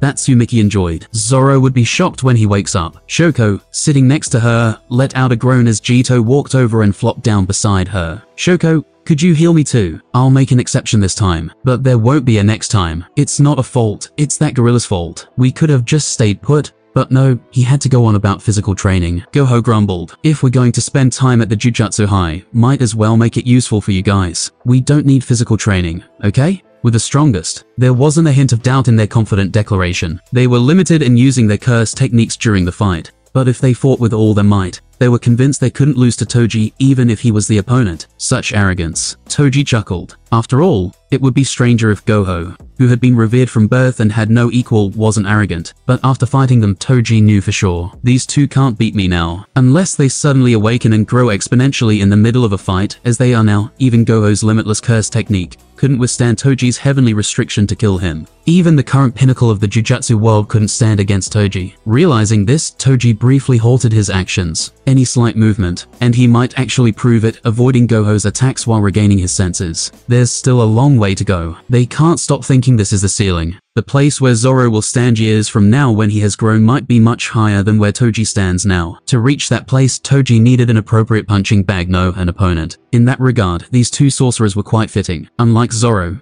who Toji didn't feel much urge to attack, these two made him want to hit them more the more he saw them. He had to beat them without killing them, without seriously injuring them, and by deliberately showing physical moves but those restrictions actually made Toji control his strength more delicately. I need to modify the deal. It seems he'll need to train more often than they agreed. That way, they'd quickly become accustomed to using their bodies more efficiently. It's a win-win, since their physical skills will improve much more than they are now. Thinking thoughts that would have made Jito and Goho foam at the mouth if they knew, Toji clenched and then relaxed his fist. This marked the beginning of Toji's physical training class, which would shine as the worst subject in the history of Tokyo Jujutsu High for generations to come. Zoro gently laid Toji's heavy body down in a place where no one would come. Searching Toji's body, Zoro found a cell phone and called Shukong. Upon seeing Toji's corpse, missing an arm, and Zoro's blood-soaked figure, Shukong remained silent. He was curious about how this had happened to Toji, but didn't dare ask Zoro. With eyes blazing with an emotion that could be sorrow or rage, Zoro firmly said, find me a crematorium. It was more of a command than a request, but faced with Zoro's menacing aura that seemed ready to kill if disobeyed, Shu Kong didn't utter a word of protest and complied. At a quiet crematorium introduced by Shu Kong, Zoro cremated Toji. He burned the body, receiving only a small jar's worth of ashes. And then he buried those ashes next to Chie's. Zoro stared blankly at Toji's grave, which, unlike Chie's, was freshly made and clean. Now, are you satisfied? Are you happy to be beside her? Zoro swallowed these words instead of voicing them out loud. There's no use talking to the dead. No sarcasm, reprimand, or criticism would matter. It would only become a meaningless soliloquy. Shu Kong, smoking a cigarette and standing by, shook his head as he looked at Zoro's calm face. So tough. Throughout the entire process, Zoro never once cried. Not a single tear was shed. Whether it was because his affection for his father was faint, or oh, right, Shu Kong suddenly remembered something he had half forgotten because it was so long ago. That guy had left some money for times like this. He would have to combine that money with the reward for completing the growth request, and give that bank account to this kid. Zoro turned away from Toji's grave. Shu Kong, having finished his cigarette, stamped it out on the ground and said, I can give you a ride home. No need. I'll at least call you a taxi. Take that to go home. Zoro didn't refuse that offer. It was more accurate to say he wasn't in the state of mind to refuse. His head felt foggy and heavy. A storm of thoughts and emotions swelled and then heavily settled in his mind. He needed to get home quickly. Tsumiki and Megumi would be waiting, but he couldn't remember the way home. I'm tired, exhausted, exhausted. He's not coming. Tsumiki glanced at the clock. It was already past 7 p.m. Zoro was significantly later than his usual return time. Could it be that brother, like mom, won't come back? No, let's not think that way. Tsumiki shook her head trying to dispel the sudden surge of anxiety. Click. The sound of the front door opening brightened Tsumiki's face as she ran towards it. Brother. However, upon seeing Zoro's face, Tsumiki couldn't help but freeze. His usual calm expression betrayed an undeniable pain. Brother. Tsumiki thought it looked like Zoro was crying. No sound could be heard, no tears fell. What happened? Faced with Tsumiki's question, Zoro opened his mouth, then closed it, to say that Toji had died. Or it was nothing. Or it was nothing at all. He couldn't speak any of those words. Because the truth would hurt Tsumiki, and he couldn't tell a lie. Zoro couldn't treat Toji's death as something trivial, or as if it were nothing. Belatedly rushing over, Megumi froze upon seeing Zoro's face. It was his first time seeing his brother with such an expression. So much pain, so much struggle, as if he was about to crumble, disperse like a shattered sugar jar. Megumi was suddenly afraid, just like Tsumiki's mother had been, just like their father, who he could hardly remember now, had been. He feared his brother might also leave and disappear from their side. Brother, don't go. Megumi rushed into Zoro's arms. Reflexively, Zoro hugged his back. Tsumiki, holding back her tears until then, also burst into tears and clung to Zoro. Their warmth filled his embrace. Zoro said nothing, just buried his face in the warmth of his siblings. Though it was Zoro who was being hugged, it felt as if he was the one being comforted. For the next two days, Zoro only slept. Not his usual dozing off on the sofa or leaning against the wall but lying down under a blanket, silent as a dead mouse. Even during sleep, if someone called him or something happened, he would usually wake up, but not this time. Zoro was so still that Megumi commented on it, worrying he wasn't moving at all. He even had a fever at one point, but Tsumiki didn't suggest going to the hospital. She realized it wasn't a sickness of the body but of the heart. Instead, Tsumiki didn't leave Zoro's side for days, and neither did Megumi. On the morning of the third day, as if nothing had happened, Zoro got up and returned to his regular routine. He woke up early to exercise and prepared breakfast with Tsumiki. Tsumiki felt relieved seeing this but didn't ask if he was okay now. Zoro was a very strong person. She had never seen him in such pain before. Of course, he's not okay. He was just pretending to be for them, who were worried about him. That's why Tsumiki had no thoughts of prying into what happened. It would only reopen Zoro's wounds. She thought it was better to wait until Zoro was truly okay to ask. Zoro went outside to check the mailbox. Among several bills, there was one letter envelope. Inside were a memo and a bank book. After indifferently passing over the many zeros in the bank account balance, Zoro read the memo. This was your father's request. Ash Shu Kong Zoro absent-mindedly crumpled the memo, recalling that Toji had left this task to Shu Kong. The anger he had barely calmed over the past few days flared up again. Who asked you for this kind of thing? Leaving behind stuff like this and running away. Zoro clenched his fist tightly enough for blood to form, then slowly relaxed his grip. Getting angry at the dead is meaningless. It doesn't reach them. That made him even angrier. The fact that Toji had gone to a place where Zoro's anger could never reach. Worthless kid. Zoro threw away the memo and took a deep breath to compose himself before entering the house with only the bankbook in hand. Tsumiki and Megumi were sitting side by side on the sofa, watching TV. However, it was clear from the program and their expressions that it was just turned on for the sake of it. As Zoro approached, Tsumiki and Megumi quickly moved aside to make space for him. Zoro sat between them. Megumi, Tsumiki, shall we move? Why all of a sudden? Because there's no one left to come here. Tsumiki's mother had been missing for several months now. Toji was dead. Now, there's no one left to return to this house. This place also had too many of those nameless monsters. Megumi had been scared too many times when going out. Those monsters definitely did not appear in places with fewer people, so he thought of moving there. It had been quite some time since they stopped going to school. Do you want to move, brother? Yeah, this was Chie and Toji's home. Now that both of them were dead, there was no longer any reason to stay here. Tsumiki nodded firmly. Then let's go. What about you, Megumi? Okay, alright, let's go. There's no reason to stay here anymore. Zoro swallowed his words. Several weeks later, Zoro left a letter for Tsumiki's mother in case she returned, entrusted to the new landlord, and completely cleared out the original house. Then, with Kong's help, they moved to a small village in Hokkaido. In this village, where snow stacks up much higher than Tsumiki's height, there were few people, and it was very quiet. People whispered about the house where only children lived, but Zoro paid no mind. They whispered but never called the police, and gradually they became indifferent and naturally accepted Zoro's family. At least Zoro was satisfied with the outcome. With fewer people around, the monsters that scared Megumi hardly appeared. Megumi's sketchbook, once filled with various monster drawings, now featured trees, snow, Zoro, and Tsumiki. When winter came and the first snow fell in the front yard, Megumi and Tsumiki, wearing thick winter clothes, frolicked in the snowfield. Even Zoro joined them, sledding and building a snowman together. The snowman you made looks ugly. Shut up. Tsumiki laughed heartily. Zoro glanced begrudgingly at the snowman, its head thickly adorned with black branches as hair. Although he teased, it was hard to deny that it was just a big, ugly mess. But is this made by Megumi? What? The snowman looks like Megumi. At Tsumiki's words, Zoro realized for the first time that the snowman he made resembled someone from his memory. It somewhat resembled Megumi, but the person Zoro overlapped with was someone else. With its rough hair made of black branches, large size, and a mouth split like a distinctive scar made from branches. Memories leave traces in unexpected moments. Zoro, thinking of his father buried next to Chie, uttered the name caught in his throat. Toji, Toji. Oh, uncle. You remember?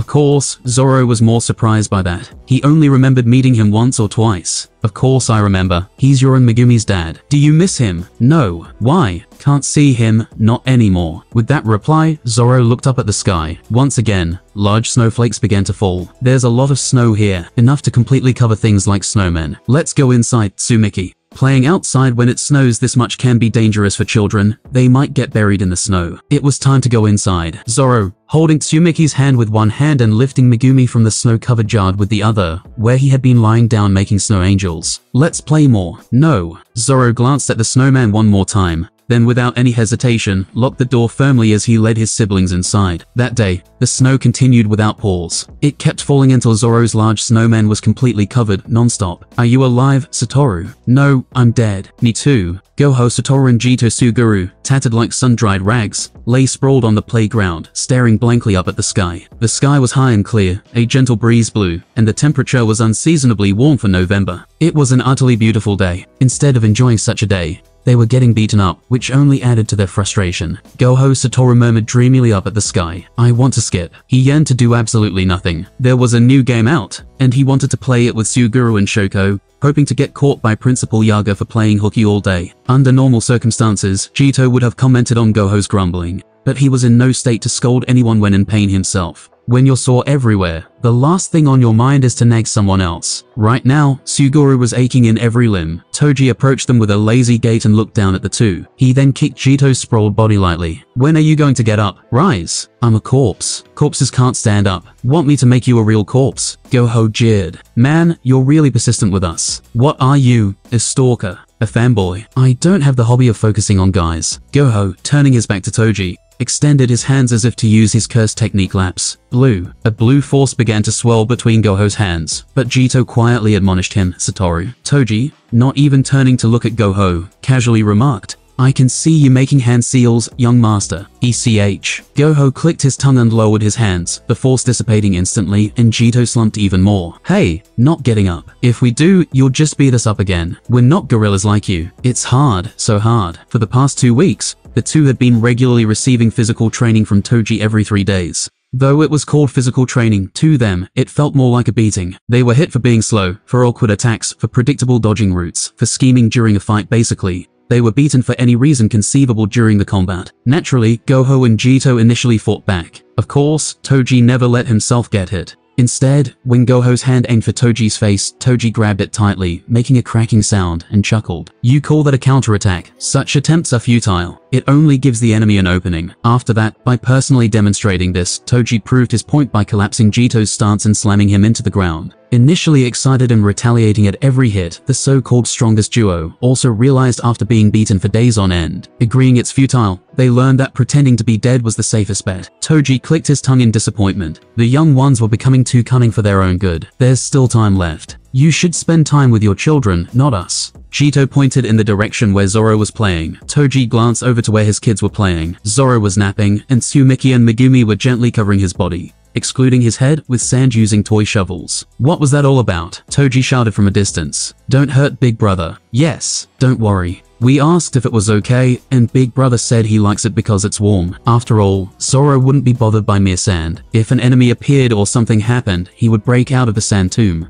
grab the kids, and sprint straight here. Oh, Goho Satoru grimaced, watching Toji turn away from Zoro. Isn't that a bit overprotective? He's the one who defeated a special grade curse. You haven't had him as your kid, that's why. Regardless of strength, Zoro was not exactly a child who inspired confidence when left alone. Whether it's his recklessness or his hopeless sense of direction, he seriously considered getting a GPS for his birthday present, but he wouldn't like it. If Zoro didn't like something, he wouldn't carry it around. And Toji didn't want to give something disliked as a birthday gift. Jito laughed. Sounds like a troublemaker. If only he were a typical troublemaker. Toji's worry deepened every time he briefly left Zoro alone, only to find him encountering curses or curse users. If GPS wasn't an option, perhaps an anti-loss necklace. Remembering Zoro eyeing various accessories, especially earrings with interest when passing by a jewelry shop, Toji scratched the back of his head. Enough chit-chat. Stop dragging this out and get up. Goho and Jito's faces crumpled in dismay. They had tried to prolong the conversation with talk of his child, but this gorilla was too perceptive. I'm counting to five. Get up. Five, four, three. Ah, uh, really? Aren't you going to do your duties? Goho sprang up, shouting. Toji pressed down on his dusty white hair firmly. You need to become a sorcerer to have duties. You think the sorcery world would acknowledge someone without cursed energy like me? It was a moot point now. After realizing that all four curse user organizations he had crushed were somehow linked to the higher-ups, Toji lost all desire for recognition from the sorcery world. He retained a competitive desire to fight and defeat strong sorcerers, but any attachment to the position of a sorcerer itself had completely vanished. Being a sorcerer would just mean taking on tasks from those kinds of people. Toji scoffed at the thought. Jito muttered in a voice that sounded incredulous. Even though you're this strong, you're not recognized as a sorcerer. They'll never acknowledge it. That someone who is not a sorcerer can be that strong. Especially the Zenin. Once they found out Zoro was Toji's child and not a sorcerer, the Zenin family completely stopped all investigation and attempts to approach Zoro, not even mentioning him anymore. It must mean they have no interest or curiosity in those who are not sorcerers. The cessation of their advances was a welcome development for Toji, but he couldn't shake off the feeling of its persistence. Toji's lips twisted. Goho grumbled as if he couldn't understand. Why wouldn't the sorcery world want a gorilla like you? Even the weakling Udon works as a sorcerer. Goho, it's not good to talk behind someone's back. Is this talking behind her back? It's the truth. Over the past two weeks of being beaten up by Toji, Goho Satoru and Jito Suguru came to understand. They had to accept the reality. He's strong. The strength of Zenin Toji is real. When he wiped out the curse user organizations, they just accepted it. After all, it was something Goho or Jito could also do. However, Toji's physical combat skills were clearly beyond their reach. Satoru, who always thought he could catch up to any sorcerer eventually, found Toji to be different. It's on a different level. At least in terms of physical combat, Zenin Toji was in a place Goho Satoru could not reach. Gifted physically by being a heavenly restriction with zero cursed energy, Zenin Toji received physical abilities that could kill an ordinary sorcerer in an instant in exchange for completely losing the biggest potential he could have had. To Goho, it seemed like a power as significant as the cursed energy that was erased, though Toji himself probably wouldn't think so. Even if I try to finish him off with cursed techniques, it's not easy. Goho's curse technique reversal. Blue could be easily avoided by Toji just running out of its range, and Jito's summoned spirits were exterminated as soon as they appeared. Maybe for Goho, a user of the limitless curse technique, it wasn't a big deal, but from the perspective of Jito, a user of cursed spirits, it was difficult to use curse techniques in every duel without risking his own spirits. How Toji managed to strike curses with his bare hands was a mystery even to Goho. It's certain there must be some trick to it. It wasn't through curse techniques. If it were, Satoru would have noticed. It's just that Toji was too fast and had no cursed energy. so it was hard to see exactly what he did to exorcise them with the naked eye. I need to figure it out to either block it or prepare a countermeasure. Thanks to this, Goho Satoru was experiencing frustration for the first time in his life for not being able to discern something. And he's getting more precise with his strikes. He avoids major muscles that could impact a sorcerer's activities, focusing on areas that hurt but recover quickly. The most annoying part was that they couldn't deny their physical skills were improving the more they sparred with Toji. Just yesterday, Satoru managed to exorcise a grade 2 curse with a single punch, without using any cursed energy just lightly enveloped in physical power. Intending only to subdue it and hand it over to Jito, Satoru was left no choice but to look down at his hands in dismay and apologize. After exorcising more than three curses this way, a punch flew from Jito. But, like they're blind or something, Goho Satoru internally cursed the higher-ups. The reports he and Jito wrote daily about Toji, who knows where they ended up, despite clearly stating that he's at least a grade 1 sorcerer level and must be introduced to the sorcery world right away. It would mean less time for this gorilla to beat us if he went on missions. Toji called out to Goho, who showed no signs of getting up. Hey, ah, forget it. I won't do it. I'm not doing it today for real. Unlike you, a jobless guy, we have missions to attend tonight. If you're so eager to fight, why don't you try Utam or Mei Mei? She's too weak. Mei Mei might be an exception, but he would have to hold back a lot against Utam. Both her curse techniques and physical combat skills were weak, yet she was overflowing with enthusiasm, risking too much. And I can't come next time anyway. That day is Zoro's birthday yay. Goho cheered, throwing a punch into the air. Dreams do come true. Jito also smiled broadly. Master's birthday. Sincerely congratulations. Why not take this chance to go on a trip for a few days? No, a week. It would create good memories with your children. I'll even cover the travel expenses. Yeah, yeah, give us money so you and your kids can disappear quickly. Gorilla. Those guys. Toji's brows twitched. Was about to finish them off nicely. Seems like it won't work. Need to correct their attitude. So, we have to do it properly today, right? Seeing Toji emitting a dark aura and approaching, Goho and Jito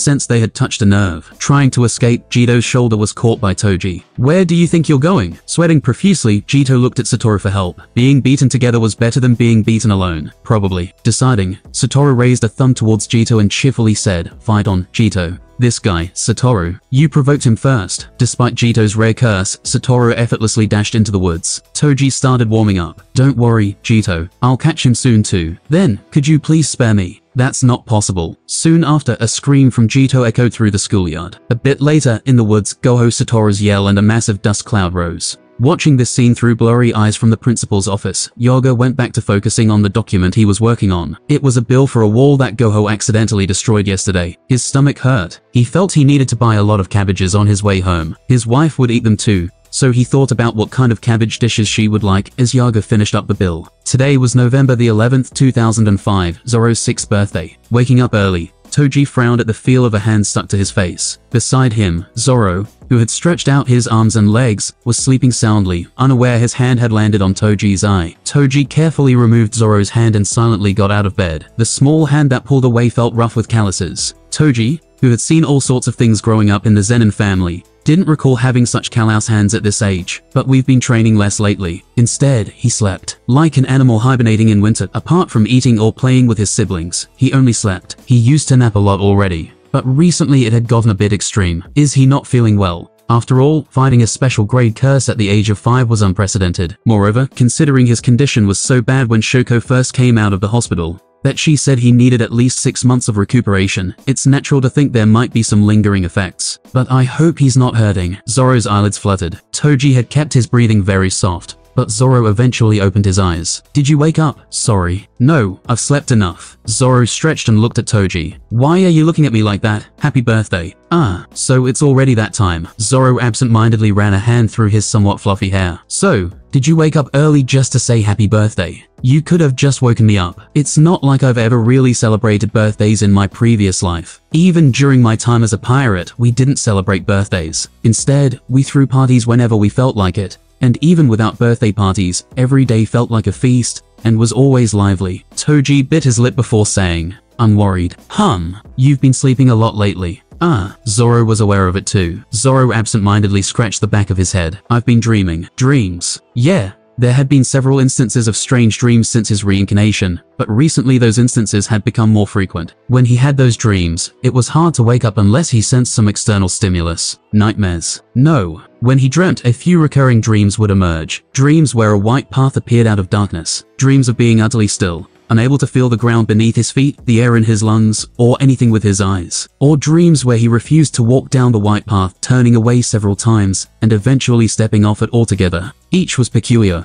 but none felt unpleasant or distressing. Come to think of it, I haven't heard that metallic scraping sound since that day. The click-click noise that often accompanied his dreams hadn't been heard since Zoro killed the special grade curse and seemed to break something in his dream. Instead, the dreams themselves continued. But today's dream was one I've never had before. A throbbing heart and a fragile, beautiful red thread barely holding together were the choices given in the dream. And Zoro made his choice. The vigorous beating of the heart and the soft texture of the thread he held remained vivid even after waking from the dream and some time passing. Too vivid for a dream. Was it a dream or a memory? If it were a memory, from when? If today's dream was a memory, were the previous dreams also memories? Seeing Toji's face darken, Zoro snapped out of his thoughts and tapped Toji's forehead with his finger. Don't worry, Zoro wasn't someone to be swayed by mere dreams, and these dreams weren't unpleasant or unnatural to begin with. They felt more like things finding their rightful place. Zoro, who had been gently rubbing Toji's forehead, stood up. I'm hungry. Let's eat. If something's bothering you, make sure to tell me. I said I got it. Is there anything you want to do today? Anything you want to eat? Well, how about a trip? To the mountains or the sea? Toji lightly suggested, recalling the mocking from Gojo and Geto a few days ago, telling him to take a trip and never come back. Traveling abroad might be too much for the kids since they were still young, but a day or two's trip within the country was definitely doable. The sea,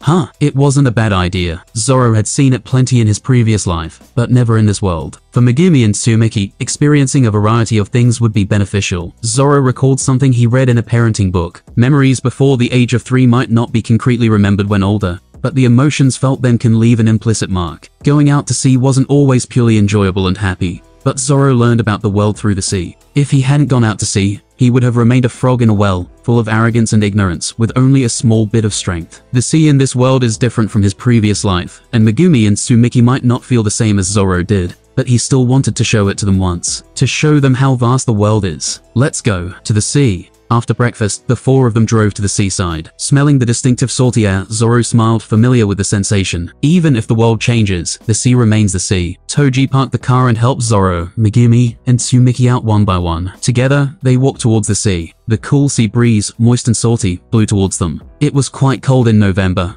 but the kids weren't cold because they were dressed warmly for winter. Upon reaching a spot where the sea's expanse was visible, Megumi, seeing the sea for the first time, lit up. Wow. His small mouth opened wide, and he bounced on his feet. Tsumiki's eyes widened as well. Is this the sea? It's so vast how far does it go? Zoro shrugged. To the end of the world. Wow. Megumi reacted just like Zoro, making him chuckle. Holding hands tightly, Tsumiki and Megumi ran towards the sandy beach. They jumped around excitedly in front of the crashing waves. I want to go in. It's too cold now. Toji firmly said no, causing Tsumiki to pout. I want to go in. Though, you can dip your hands and feet Megumi. Megumi, who had been splashing the seawater, suddenly sucked on his hand. Zoro quickly pulled Megumi's hand out of his mouth, alarmed. Megumi grimaced. Salty, the sea is made of salt water. Spit it out. Hey, spit, spit. Megumi spat out the saltiness. Oh boy, Zoro used his sleeve to thoroughly wipe Megumi's mouth. Don't drink the sea water. You can dip your hands and feet in it. Take off your shoes and socks. Make sure your clothes don't get wet. Okay. Zoro took off Megumi's shoes and socks, while Toji did the same for Tsumiki. Tsumiki buried her feet in the sand, rubbing them and giggling. It feels weird. It's different. The sand at playgrounds and the sand on a beach feel entirely different. The slimy sensation of seawater, the fragments of broken seashells occasionally brushing between the toes, and the waves rolling in and out. Swoosh, crash. The waves hit the sandy beach breaking into white foam. Megumi flapped his arms. I wanna swim, swam, like a fish. You can't. What about Big Brother? I can do it. You can't either. Toji, alarmed, grabbed Zoro. Wait, have you ever swum before? Of course. In Zoro's previous world, the sea was visible wherever you went, so except for those who had eaten a devil's fruit and couldn't do anything in water except sink, most knew how to swim. Not to mention the fishmen, who could breathe underwater without saying, with many crew members possessing devil fruit powers. It was mostly Zoro, a non-user, who ended up rescuing those who fell into the water before Jinbe joined. This included Luffy, of course, as well as Chopper, Brook, and Robin. Robin was cautious, so she rarely fell into the water, and even if Zoro was ready to help, That damn cook usually beat him to it. Zoro made a face as he recalled the curly eyebrows that he had not seen in a long time. Even after dying and being reborn, he still disliked that man. Why are you making that face all of a sudden? No, just remembered someone I dislike. To erase the face from his mind, Zoro turned his gaze towards the kids. Tsumiki and Megumi had stopped splashing water and were now sitting side by side on the sandy beach, watching a passing hermit crab. It would have been nice to go into the sea if it was summer. Maybe we'll come back in the summer. Not bad. Although the autumn sea was also nice, it was too cold for the kids. Zoro glanced at Tsumiki. Speaking of which, we might need to get Tsumiki some more winter clothes soon. I'll check if there are any clothes left at their place.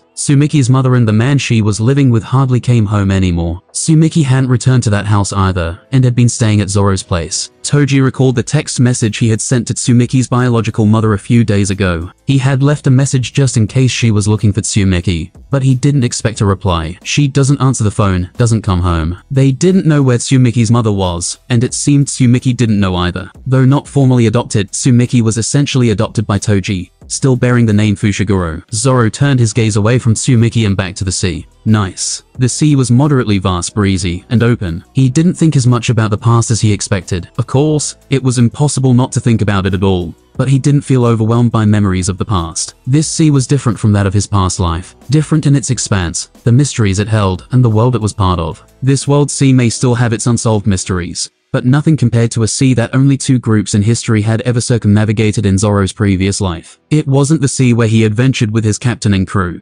encountering friends and foes, and eventually making his name known across all seas. But the sea is still the sea, a majestic natural force that can make humans feel infinitely small, a realm fundamentally different from land, filled with its own power and mystery, beckoning for exploration, adventure, and challenges. Well, maybe Zoro felt that way because that's just who he is. What are you thinking about? I want to win. Win against Su. The sea. You really are something. Toji shook his head and casually tidied up his hair that was messed up by the sea breeze. I can't tell if that's childlike or just plain stupid, but sometimes Zoro seems much more mature than Toji, and at other times, he seems as enlightened as Buddha. He's unpredictable. From behind, he just looks like a round, fluffy Marimo. Zoro gave Toji a smirk, and then turned his gaze back to the sea. Just as the letters written in the sand were erased without a trace by the waves, the subtle feelings Zoro had been harboring from the dreams he had been having lately vanished. Whether it's a memory or a dream, it doesn't matter. If it's an obstacle, cut it down. If it helps, keep it. No more hesitation. What remains is the subtle excitement and anticipation similar to when he first left his hometown to set out to sea, along with an unyielding will and dream. Zoro gripped the handle of Wado Ichimonji. I want to become stronger. To become so strong that, this time, truly become the strongest across all seas. To become a swordsman who doesn't need to cut anything. Because being able to not cut anything means being able to cut everything. Zoro laughed refreshingly as he faced the sea breeze. He felt glad to have come here. That day, Zoro spent time collecting seashells with his siblings, feasted on sashimi at a seaside restaurant, and trained until evening while enjoying the sea breeze. At night, Toji dragged him back to their accommodation to sleep, and he dreamt the same dream he had the night before. The dream about the throbbing heart and the red string. Thump thump. Zoro alternately looked at the heart and the red string loosely tied around his hand. The thin red string, swaying in endless darkness, led back to where Zoro had come from. Beyond the darkness towards a place where the sea scent lingered and the sunlight poured. Zoro, just as before, did not pull, but let go of the heartbreakingly beautiful red string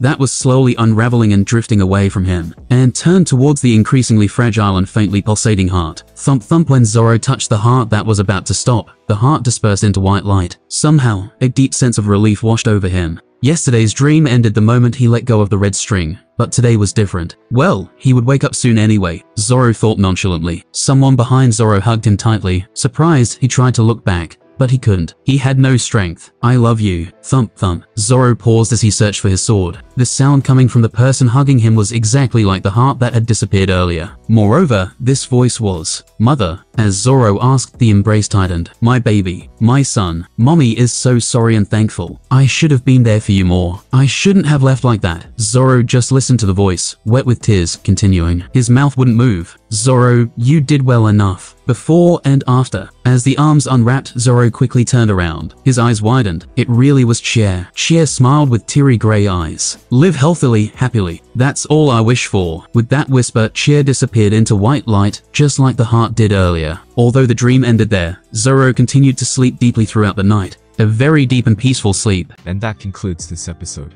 If you enjoyed it, I'd seriously love it if you guys could leave a like on the video as it genuinely helps out so much, and it keeps me going, plus it takes only one second. That said, have a wonderful day. See you in the next one.